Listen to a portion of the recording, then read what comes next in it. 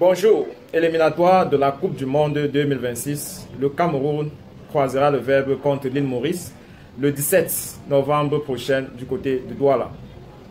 C'est donc la rentrée des classes du côté des Lions Indomptables depuis hier, 13 novembre 2023, pour les hommes de Rigo Besson et l'équipe technique au complet.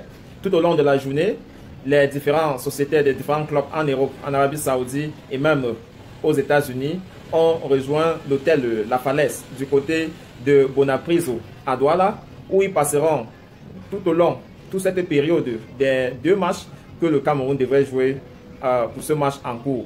D'abord, comptant pour la première journée dans le groupe des éliminatoires zone Afrique de la Coupe du Monde FIFA, États-Unis, Mexique, euh, Canada, eh bien, les Lions devront jouer le 17 face à Ododo d'Île Maurice. Nous l'avons dit. 22 joueurs sont donc euh, attendus à Douala, parmi lesquels on a deux joueurs locaux qui remplacent Aboubakar Vincent et Olivier Kemen, euh, empêchés à la dernière minute faute à la dessus. Il s'agit bien de euh, Lionel Christian Ateba de Dynamo de Douala et de Jean-Éric Moussou qui est milieu de terrain à Coton Sport de Garoua.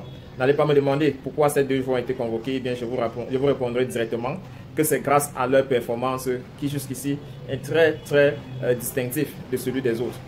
Euh, Zambo Anguissa et Jean-Charles Castelletto devront rejoindre l'équipe entière ce mardi 14 novembre 2023 pour faire équipe euh, prête à attaquer leur première séance d'entraînement qui aura lieu aujourd'hui au stade annexe de Bepanda.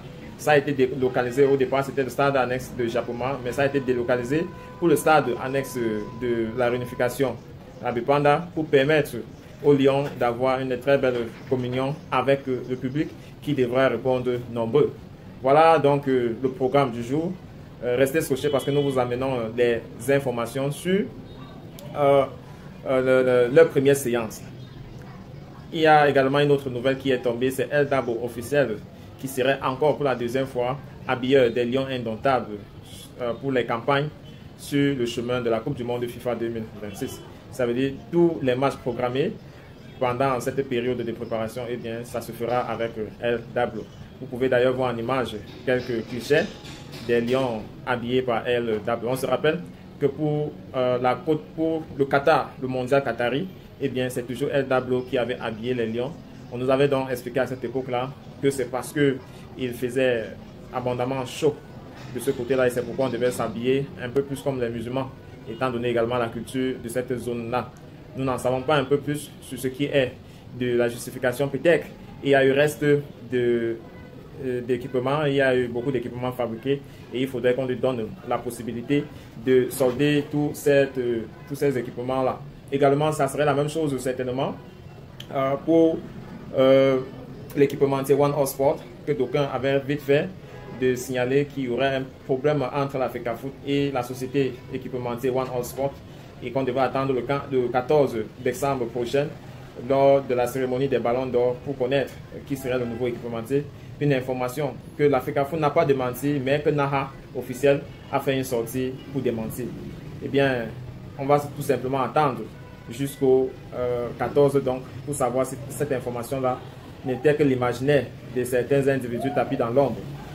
On va également dire félicitations à Augustine Njanga Siliki qui a été nommée team manager de la sélection Fagnon féminine des Lions Indomptables. Euh, il faut rappeler qu'elle a fut coéquipier de Nganamut. Nganamut qu'on a pu retrouver du côté de l'Afrique du Sud.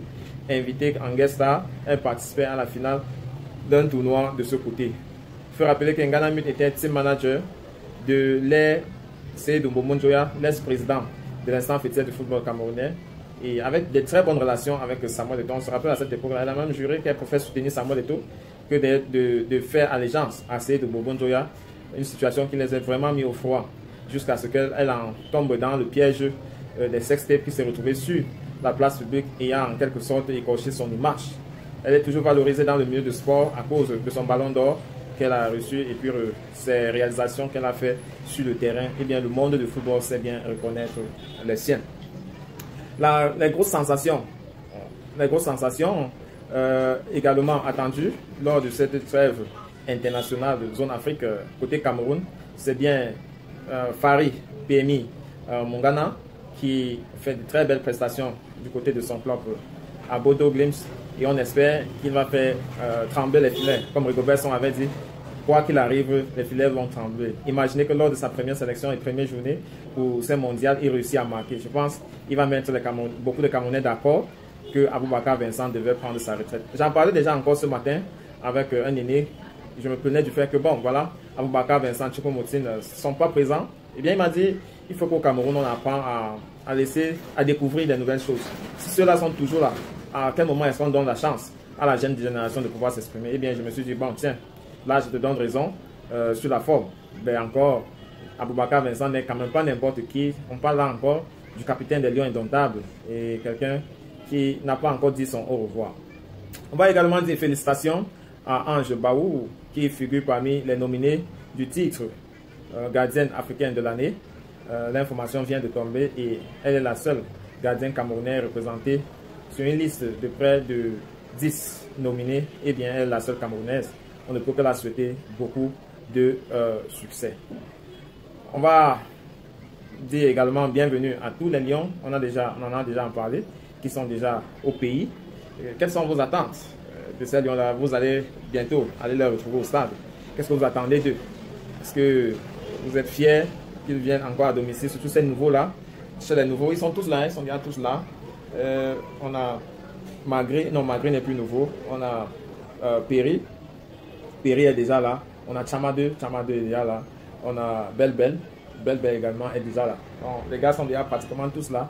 On va donc attendre euh, ce premier, première séance d'entraînement là pour pouvoir euh, avoir quelques clichés de photos pour vous. A très bientôt.